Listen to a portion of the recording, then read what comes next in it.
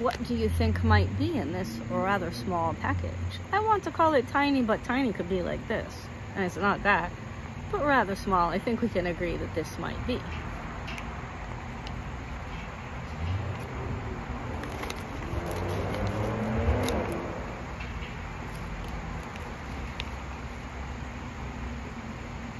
It's a yellow bracelet. It's magnetic.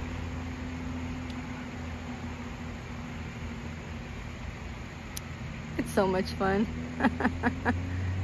yeah, you're supposed to wear it wrapped around twice like this. Yeah, that will fit my wrist. And a pink one, also magnetic. And I believe this is what they call turquoise. They being the company. Mm, a black one that has a different kind of closure, clasp, whatever you want to call it. Yeah. And I suppose this is tan. What would you say?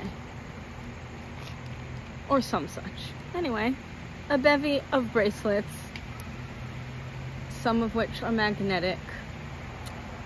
Yes. And they're really fun. I am planning on putting them together, you know? I guess I could show you what I mean. Not that you can't figure it out.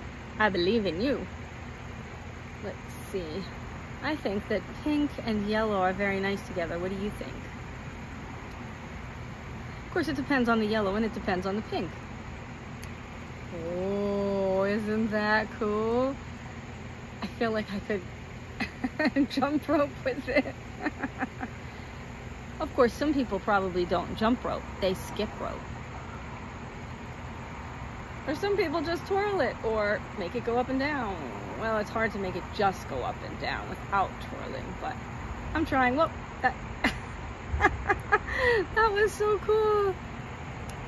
Yay! So I can wear it as a necklace. And then, if I like, I can also add this one.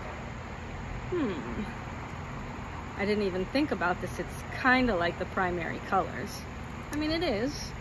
Did you see that? It just went together by itself. I don't know if that was caught on camera or not, but these ma magnets are pretty strong. Pretty cool. They catch each other. Just really nice. I really like this.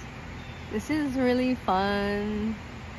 Maybe later I'll tell you some more about these, or maybe I won't. Thank you. Bye-bye.